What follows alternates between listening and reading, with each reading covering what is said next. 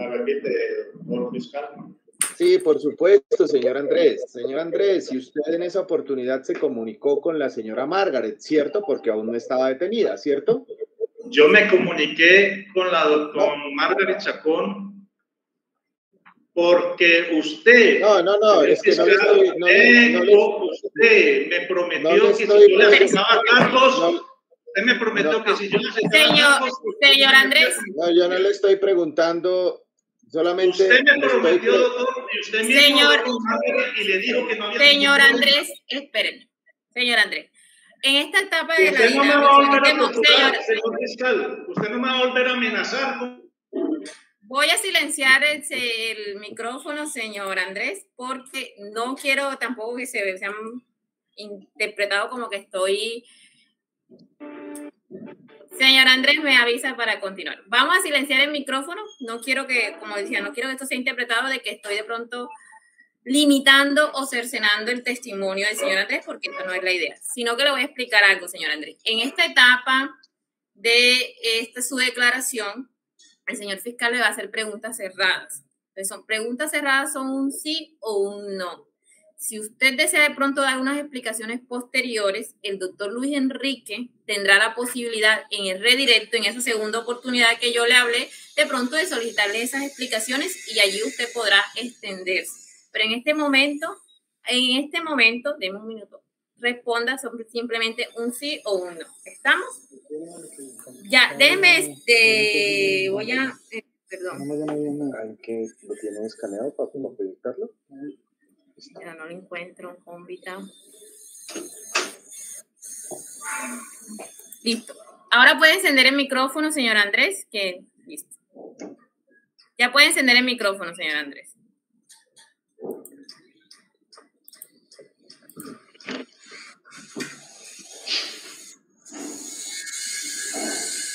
¿Todavía me escucha? Sí, señor, lo escuchamos perfectamente. ¿Puedo continuar, honorable señora juez?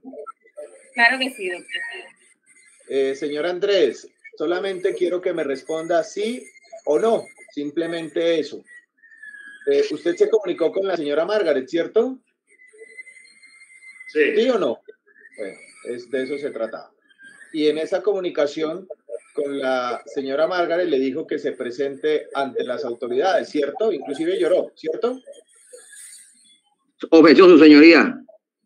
¿Sustente, doctor? Pregunta sugestiva y no está cumpliendo las reglas que usted fijó. Ya estamos en el contenido de eso y usted lo fijó la regla y es sugestiva.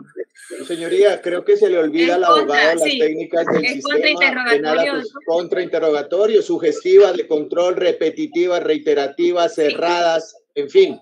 Listo. Sí, doctor. pero, sí, pero la pregunta es de contenido. No, doctor, permitiré la pregunta. Adelante, señor fiscal. Y usted le dijo que se presenta a las autoridades que nada le iba a pasar porque usted ya estaba respondiendo por los hechos, ¿cierto? Sí, doctor. Sí, muy bien, como ahora. Perfecto. Vamos ahora a otro tema, señor Andrés, tranquilo. Muchas gracias. Señor Andrés, usted viajó con la señora Margaret Licecha con Zúñiga a Cartagena, ¿cierto? Sí. Y en Cartagena la pasaron bien, ¿cierto? Sí. Muy bien. Eh, señor Andrés, usted viajó desde el 7 de mayo al 10 de mayo, ¿cierto? Sí. Estuvieron en Cartagena, ¿cierto? Para esa fecha, del 7 al 10 de mayo, ¿cierto? Sí. Me estoy refiriendo a usted y a Margaret. Y también, señor Andrés, usted estuvo en compañía del señor Ramón Emilio Pérez Hoyo, ¿cierto? Sí. Y también en compañía de otra persona, ¿cierto? Sí. Recuerde que está bajo la gravedad del juramento. Y esa otra persona se identificó como Francisco Luis Corragaleano, ¿cierto? Pues yo no estaba en, compa- en compañía con él. Nos No. encontramos carro. Ah, se encontraron en. No, no, no, solamente respóndame lo que le estoy preguntando. Nada más, no me interesa saber nada más de usted. Muy bien, señor Andrés, voy a retrotraer su memoria para el sitio donde se quedaron en Cartagena. Ustedes se quedaron en Cartagena por el por la droguería inglesa, ¿cierto? Por ese sector, ¿cierto? No, doctor. Ah, bueno, explíqueme por dónde se quedó. Como a cinco cuadras de, la droguería inglesa. Ah, cinco cuadras. Sí, es que le estoy diciendo es por ese sector, no le estoy diciendo en la droguería. El sector, el sector que usted se refiere, doctor Burgos, es Cajante, ese es un sector prácticamente pequeño. Perfecto, gracias por su aclaración, señor Andrés. Señor Andrés, usted allá se movilizaba en una camioneta TX, ¿cierto? Sí. De propiedad de la señora Margaret, ¿cierto? Sí. Inclusive Francisco Luis Correa Galano estuvo allí, ¿cierto? En la, en la camioneta. No siempre, sino ocasionalmente, ¿cierto? Objeción. Sustente, doctor.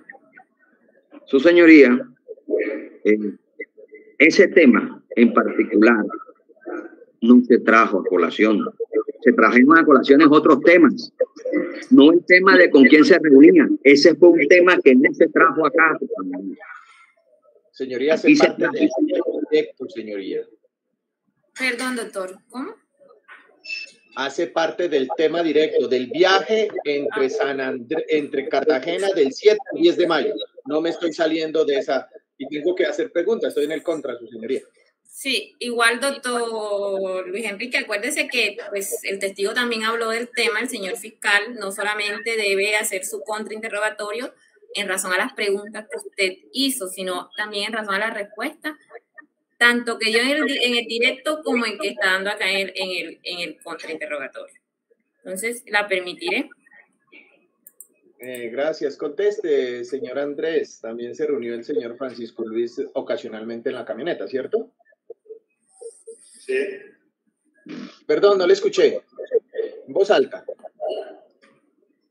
No me reunía con él en la camioneta, nos encontramos en lugares. pero venga, venga. Eh, ah, ya, perfecto. Está cambiando la versión. Acaba de decir que sí y ahora que no. Ojo que está bajo la gravedad del juramento, señor Andrés. A pesar de que esté condenado, puede obtener ciertas repercusiones penales. Muy bien. Señor Andrés. Me está amenazando, me está amenazando como lo hizo en la fiscalía, doctor Burgos. Señoría, eso Usted tampoco me amenaza a mí, señor. Vamos, a, vamos, vamos a hacer una cosa. Vamos. Por favor, usted es un fiscal que ejerce el derecho, ejerce el derecho sin ética moral. Gracias, señor Andrés. Señor Andrés, vamos a guardar silencio. Por, por favor, nuevamente voy a Dejamos las constancias respectivas, honorable señora jueza, del trato que está teniendo el testigo. Sí, fuerte y claro, su señoría. O mejor, señor Ramón, usted está detenido en cómbita, ¿cierto? Sí, señor. Aquí hay una dinámica, o sea, tú ya tienes amplio conocimiento en esto, ya antes fuiste también privado, condenado y nuevamente hoy estás condenado. Simplemente la respuesta sí o no y, y, vamos terminando el, el, contrainterrogatorio de manera rápida. ¿Perfecto? Gracias, señor. Eh, señor Ramón, usted está detenido en cómbita, ¿cierto? Sí, señor. Y está condenado por los hechos del fiscal paraguayo Marcelo Pérez, ¿cierto? Sí, señor. Hechos sucedidos el 10 de mayo en Cartagena, ¿cierto? Sí, señor. Donde tú participaste directamente con tu hermano, ¿cierto? Por eso están condenados. ¿Cómo, cómo, cómo? Donde tú participaste directamente con tu hermano, por eso está condenado, ¿cierto? Sí, señor. Tanto su hermano como usted ya se encuentran condenados, ¿cierto? Sí. Muy bien. Usted llegó en compañía de Margaret, y de Andrés Felipe a Cartagena, ¿cierto? Sí, señor. En Cartagena se instalaron aproximadamente de entre el 7 al 10 de mayo, ¿cierto? Sí, señor. Usted indicó algo aquí súper importante, o mejor, para la versión distinta de su hermano Andrés. Ustedes primero planearon llegar a Barranquilla, ¿cierto? Sí, señor. Eso tenía conocimiento Andrés, ¿cierto? Íbamos a llegar allá a la casa de Margaret a felicitar a los papás de Margaret. pero como yo tenía que viajar a Cartagena, él salió conmigo también para Cartagena y a celebrar el Día de Madres a Margaret Cartagena.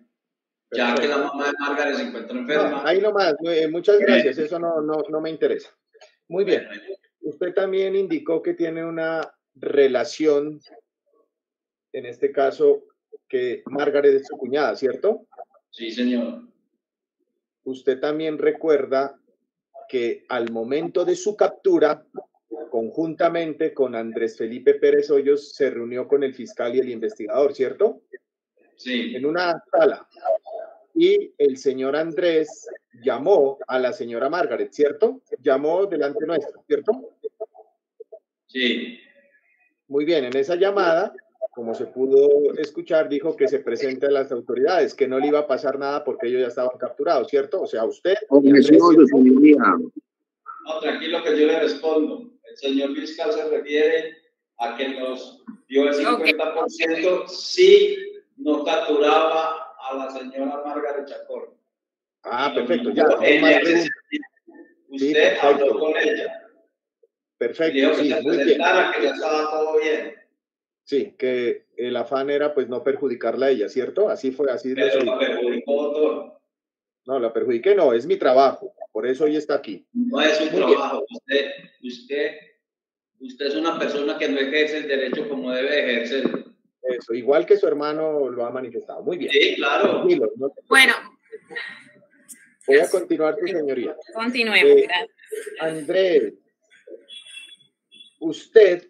Ramón, este es Ramón. Eh, Ramón, sí, sí, sí, sí, sí. Ramón, usted compartió, se reunió con Andrés Felipe, Margaret y Francisco Luis Corragaleano, ¿cierto?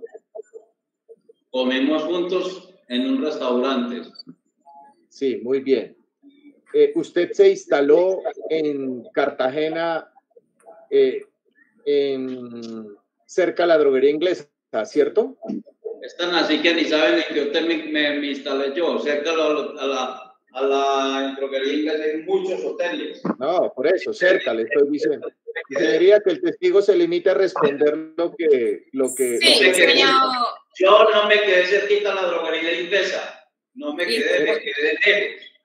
Ah, por el sector de. ¿En qué hotel me, me le quedé yo? no se refiere a Señor Ramón, vamos a ver, vamos a hacer una, acuérdese, acuérdese que el que está siendo interrogado es usted. No, usted. Sí, pero yo no me quedé en la Pero espérese, espere, espere, por eso, si usted no se quedó cerca de la droguería inglesa, respóndale simplemente que no. Listo. No, no me no le está viendo mayores explicaciones y listo. ¿Ok? Perfecto. ¿Una respuesta cerrada, sí o no? Así responda, se quedó cerca del sector de Boca Grande, ¿cierto? O en el sector de Boca Grande, para hacérsela más amplia. Sí, Boca Grande es muy grande. Sí, ya, sí, ya, ¿no? Es que, o sea. ¿Sí o no? ¿Se quedó en el sector de Boca Grande? Boca Grande sí me quedé, no junto a la iglesia de querer Inglesa. Eso, bien. Y, y no, se ponga, no se ponga bravo, señor, señor Ramón, tranquilo. No, es que yo me pongo bravo cuando me la puta gana a todos. a mí ya señor, señor. Señor. Eh, Dejamos constancia otra vez el comportamiento decoroso y amenazante, desafiante del señor Ramón, su señoría. Mi doctora, la representación de víctimas si apoya una moción, no es necesario hacer ese tipo de situaciones y no viene al lugar, simplemente pues que conteste lo que considere y ya, pero no es necesario hacer esto. Señor Ramón, bueno, nuevamente, igual, eh, quiero dejar algo claro, señor Ramón, nuevamente le recuerdo, usted es el que está siendo interrogado, responde de manera clara y concreta lo que el señor fiscal le está preguntando. Si él le pregunta, modo de ejemplo, si usted comió en un restaurante de aquí de Cartagena llamado, no sé, Don Pepito, simplemente responde sí o no. Nada más, no hay que dar mayores explicaciones. Si el señor defensor quiere que usted dé esas explicaciones, él lo hará en el redirecto. Nuevamente le repito también, la función del doctor eh, Burgo dentro de esta diligencia como fiscal es atacar a los testigos de la defensa como la defensa atacó a sus testigos en su momento. Pues son cuestiones de roles. No se moleste, Le agradezco que por favor se dirija al doctor Burgo con el mayor de los respetos, así como se dirigió al señor defensor, así como se va a dirigir a mí, porque aquí estamos en una audiencia. Entonces, ni el doctor Burgo le ha faltado respeto a usted, ni usted se lo puede faltar a él. Porque si no, me va, lamentablemente voy a tener la obligación de terminar su declaración y usted no va a poder decir lo que quiere decir en esta diligencia. ¿Estamos? Por favor, encienda su micrófono